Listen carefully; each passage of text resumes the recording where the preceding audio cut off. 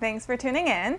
Today I'm sharing my Hermes best and worst. I know this has been a little bit long time coming because I was a little out of commission after getting some dental work done. Uh, I wanted this to be a proper sit down video where you saw my whole face um, because I felt like it was going to involve a lot of talking. So here it finally is. I have previously done my Chanel best and worst and as a quick recap in case you haven't watched that one, um, this is a best and worst that focuses specifically on the pieces that are in my collection or have been in my collection. And I rank the top three best pieces, like things that I think are so worth it, was a really great buy. And then three that are my worst purchases. These are pieces that I could maybe live without. So I, uh, after my Chanel one, a lot of you wanted to see Hermes, Dior, Vuitton, so I wanted to work through those. And today is going to be my Hermes best and worst.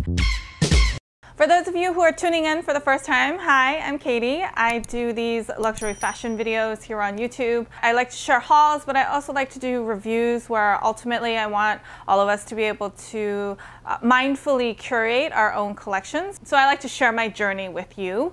If you like what you're seeing, please subscribe to my channel and like this video. Leave a comment down below with your favorite part. Um, all of that really helps me out a lot. So I am going to start off sharing my three best purchases and then move on to my three worst. They're in no particular order, uh, but things that did come up in my mind. One item I wanted to mention is in this box here. And I'm super excited that it finally started to get warm in New York City. It feels like real spring is here. So I cannot wait to bust these out again. But the first item I wanted to mention are my Oran sandals. Now I'm going to try and keep them a bit far away because they are a bit dirty. I've worn them a ton. Uh, but I did want to mention these because for me, by far and large, these are my favorite sandals to wear in the summertime. I know I recently picked up the Alohas. I think if you're I would highly suggest that you check that video out because I go into a lot more detail. Um, but I still feel like the Orans are a really great pair of sandals to have and I look forward to wearing them every single spring summer season. Um, I've taken them to the beach, I've taken them on like trips. I, I, pretty much wear them everywhere. I wear them in the middle of the city and in the middle of nowhere. I wear them a ton and they go with they're very flattering on your feet. I feel like they're very flattering even if you have narrow or wide feet. They look really good um, on, on all feet types. Um, and for me, they're very comfortable. Now, I know comfort level when it comes to shoes is very, very individual. It really depends on your foot.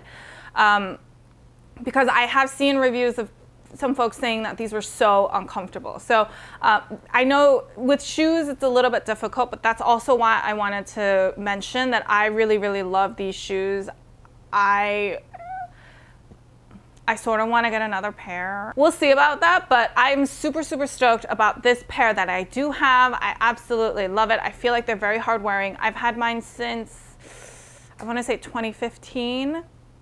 So I've worn them for a good five years and I've worn them, okay? It's not like I wore them once or twice in the season. Like I've worn my Orans and I feel like they look really good for their age and for how much I've worn them. Um, I haven't re reinforced the, the soles, you can see.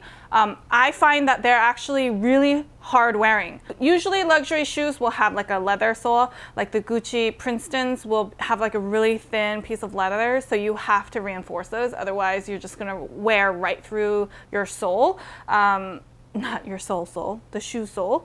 Uh, but um, these are really well made, I think, and they're really thick, so I didn't have a problem with those wearing through despite the amount of times I've worn these. So I wanted to highlight my Oran sandals. The other thing I wanted to mention about these is that th they are a seasonal piece. Like, well, depending on where you live. Where I live, it's these are considered spring, summer footwear.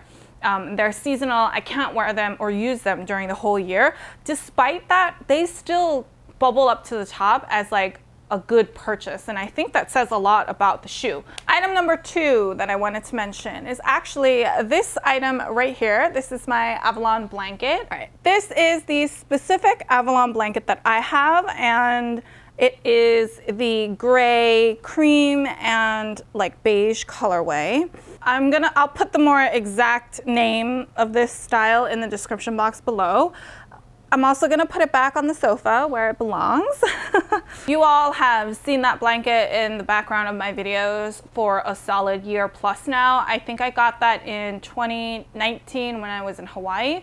So it was September 2019 when I picked it up and I have loved it to death, to bits ever since. I think I've mentioned it in in a lot of other videos as well for things that are might be great gifts ideas or things that you might want to get uh, other parts of your collection that you could build out that's not, let's say, just handbags or just shoes. And I love this to bits. I absolutely love the specific colorway that I have. I'm so happy with the little bits of extra tan in there.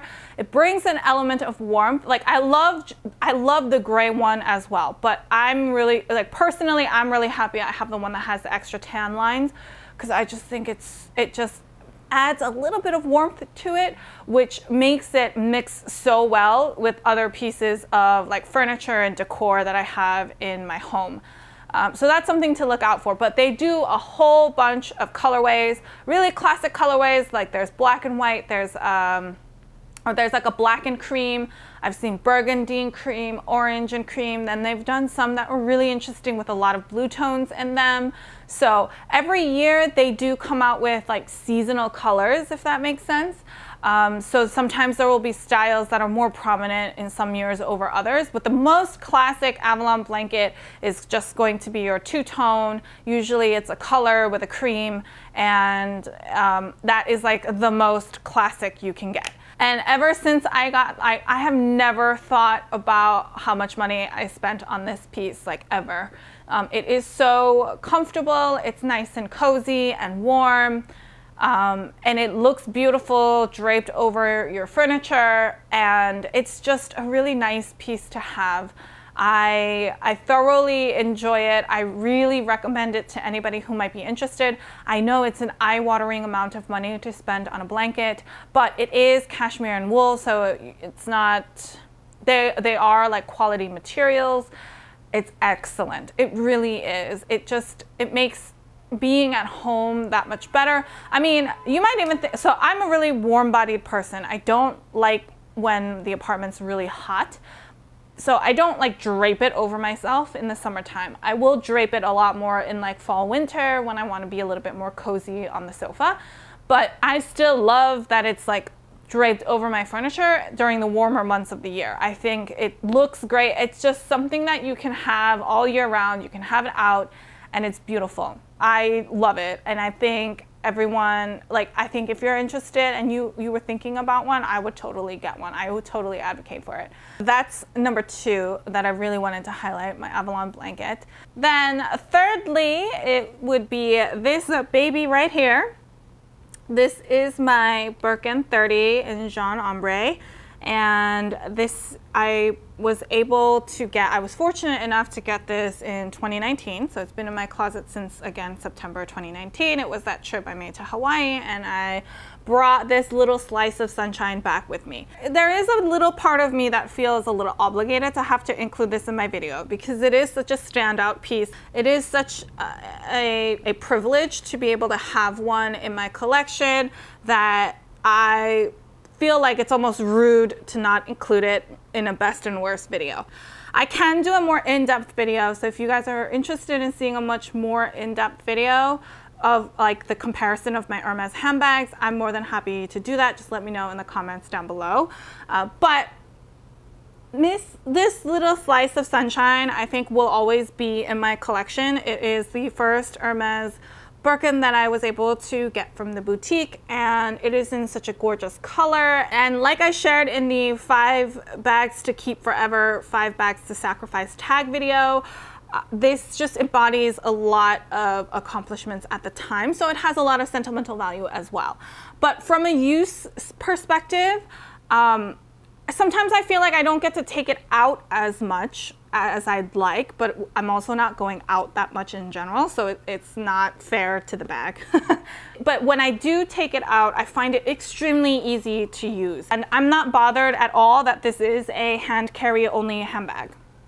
Usually my preference is to have a top handle and a crossbody strap so that I can carry it and be hands-free if I need to. So that's what I was slightly concerned about with the Birkin style because you can't really get, make yourself hands-free.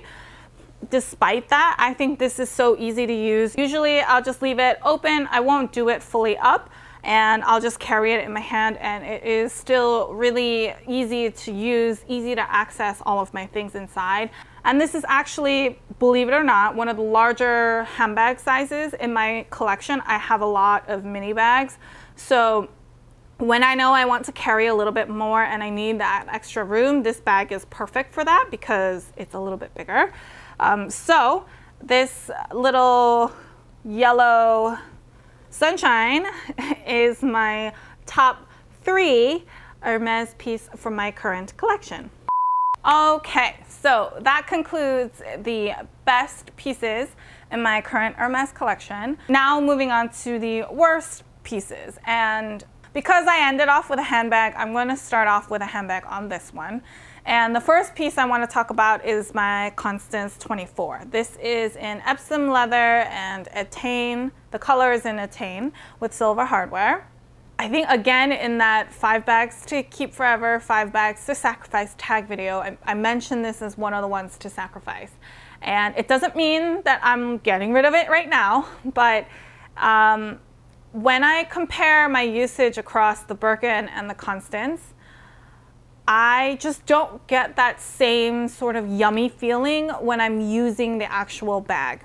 So I feel like the Constance photographs beautifully. And, and this is sometimes where I struggle as an individual. There's like the human being me living my daily life, and then there's kind of the digital creator version of me where I create some additional content, whether that's on Instagram or whether that's on YouTube.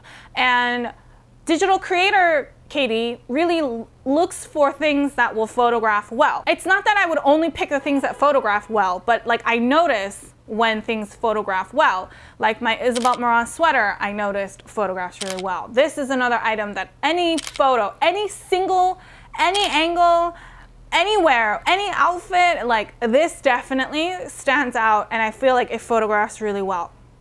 And of course it's true, it's a really iconic shape, silhouette, colorway, everything. But the human being, Katie, like the day-to-day, -day, the actual person who's using the piece, doesn't really get that yummy feeling compared to when I'm using my Birkin. I don't know, I don't know what it is. I don't really know why. I think it's just the floppity straps at the top just they end up getting on my nerves. They do. They really do. I wish there was an option where you could like remove them and like I don't know, but sometimes this is just this is just like not fun. And then I mean, it, it is a pretty good size, so it fits like my mask case and it fits all my daily essentials. Uh, it, but there's just something about it that feels a little bit awkward. Um, I purchased this in, I think I want to say July last year. So when I first started using it, it was excellent to put over my shoulder. I felt like it was a good size and a, and a good shoulder drop um, for it to be close to my body. But then fall winter rolled around and I couldn't put it on my shoulder anymore when I'm wearing jackets or thicker sweaters. Like it would just like roll off my shoulder. That can happen with a lot of bags in general when you're wearing thicker things. But like at this price point, like girl, I want to wear it like any day, any season, you know, like I'm not I don't want to I don't want to just be like, "Oh, you know, uh, this is my like my spring summer bag when I wear like summer dresses and light tops. Like I want to be able to carry this all day, every day. I did in the wintertime, but it resulted in me just hand carrying it like this. And some of you might say, oh, why don't you like crossbody it, you know, across, and like on my on my frame, I don't think this sits very well as a crossbody. It kind of sits like right here, and I just, I don't find that to be particularly flattering on my body shape. And uh, like, especially in the wintertime, if you're wearing sweaters or thicker layers, like, forget it. Like, it's gonna come like all the way up to here. I think it looks a little bit awkward for, for me um, to wear it that way, which is why I end up just carrying it like this. And then I think if I'm going to hand carry a bag, I'd rather hand carry my Birkin because I like that one's so easy to get in and out of. Like, sure, it's in my hand all the time, but if I need something, I just like open it up, grab what I need, and then I'm on my way. But this one, your hand's carrying, and then you're like, oh, I need something. Oh, okay, let me put it in the crook of my arm. Let me hold the bag up. Let me open the flap and then access my things. And then let me go back close the flap and then leave like 5 million fingerprint marks on it while I'm doing that and then put it back in my hand and then like continue walking or doing or whatever. You see what I mean? Like there are so many more extra steps. So I usually carry it like this, right? So it's usually in my hand like this and then I need something. I just go straight, you see, like straight. It's open, I grab what I need, I finish paying or whatever, I put it back in there and I'm done.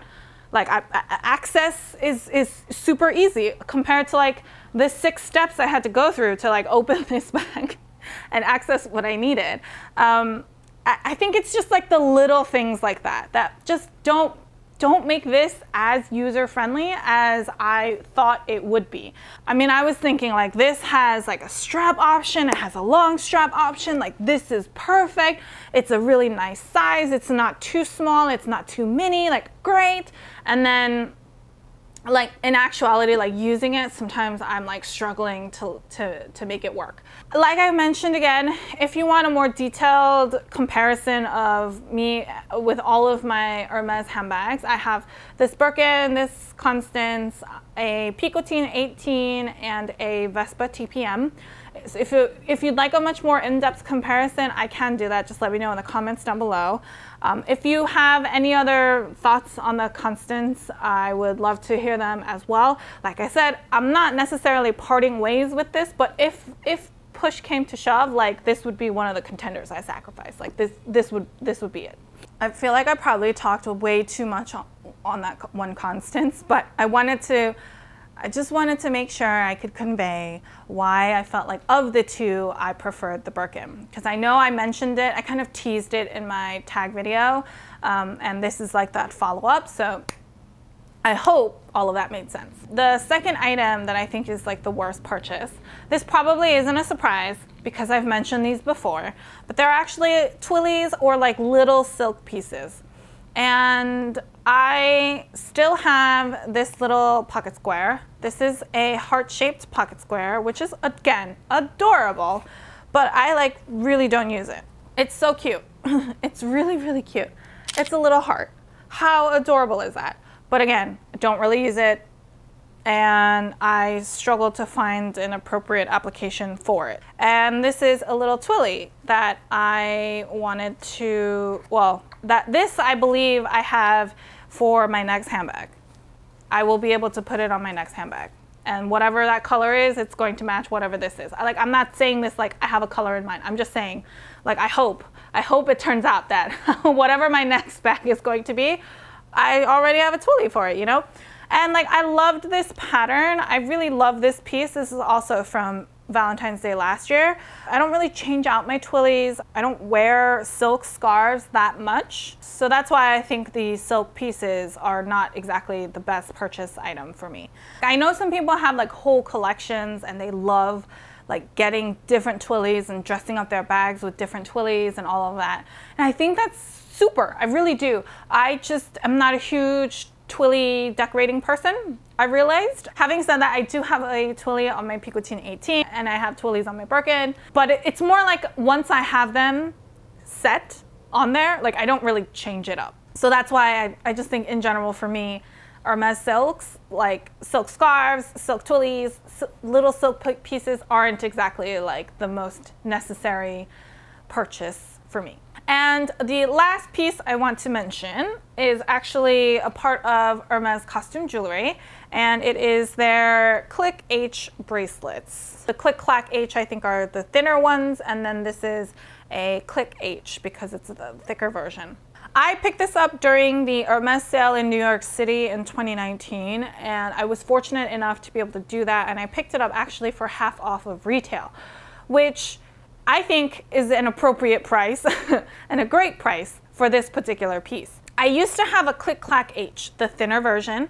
In the GM size. It was black enamel and gold hardware. I ended up selling that because I initially bought it to wear with the watch that I was wearing on a daily basis at that time. So that's why I got the GM size and then I stopped wearing that watch and then the the style itself was a little too big so eventually I sold that because I didn't feel like I was getting enough wear out of it. When I went to the sale and I saw that these were half off that's when I decided I thought it was a great opportunity to pick up this thicker size and I think this thicker size is better for me personally to wear as like a standalone bracelet. Like if you, if you wanted to stack like five of them then I think the thinner one is better but as a like a its own piece or you have like maybe one or two other like dainty items with it i think this is an excellent uh, size like width. Like if i think about how much these are i really don't think they're worth it. Um, and i feel like this is such a piece that personally i went through phases of wanting wearing and then i stopped wearing it. So i feel like it's one of those that doesn't quite have the longevity that you might want, that you might seek in a piece that you spend this much money on. I know it's a popular piece from Hermes, uh, and I know a lot of people like to wear them. I don't want it to come off as like it's played out and like you're really basic if you get one. Like I, I, that's not what I mean at all. What I mean is like it it's a it's a piece that I think is difficult to sustain long-term excitement over. Like for example, my Oran sandals, I've worn them consistently for five years now. It's also an iconic Hermes piece. It could be a little bit played out. A lot of people might have them, but like that doesn't bother me. You know what I mean? Like I'm just like gung ho, like I'm going to wear my Oran sandals every summer. Um, I'm trying to think of other examples. Like a lot of my other, let's say Chanel handbags that I have, like I, yeah, sometimes I might go into a period where I don't reach for it as much, but I don't think it's it's a bit different like but but I'll still come back to it and I'll still want to wear it and I'll still know that it's in my closet and not be like, "Oh, I have that. I should wear it." It's more like, "Oh yeah, like I, I know I have that piece and when I wear an outfit where I need it, like I'll I'll I'll use that, you know?" This one I kind of go, "Oh, like it's in my closet. I feel like I should wear it." I'm not really wearing it. I hope that makes sense. I'm, I hope that makes sense. I'm, I, I don't feel like I did a great job explaining that. Uh, but that's why I wanted to include it in my worst purchases. Like personally, for me, I, I think given that I sold one already and this is the second one and I feel kind of like, oh, like I should use it and I kind of have to make myself wear it, I think this is not a good purchase for me and my current collection. So that is my best and worst from my current Hermes collection. Uh, let me know your thoughts in the comments down below. What are some of your best pieces from Hermes? Like what are some things that you, you cannot imagine living your life without? And then what are some of your worst pieces? Like maybe the Oran sandals just did not work for you and you feel like that's not worth it. Or maybe maybe a click bracelet is like one of the best pieces that you have from Hermes. Like definitely let me know. I'd love to hear your thoughts. I hope you enjoyed. If you have any questions or comments on any of those pieces, feel free to leave them down below or head on over to Instagram and I'd be happy to help however I can. If you like this video and you found it helpful, please give me a thumbs up. I really appreciate all of your feedback and support. If you like this kind of content and you haven't already, please subscribe to my channel. I post new fashion related videos every Sunday and Wednesday. So until next time,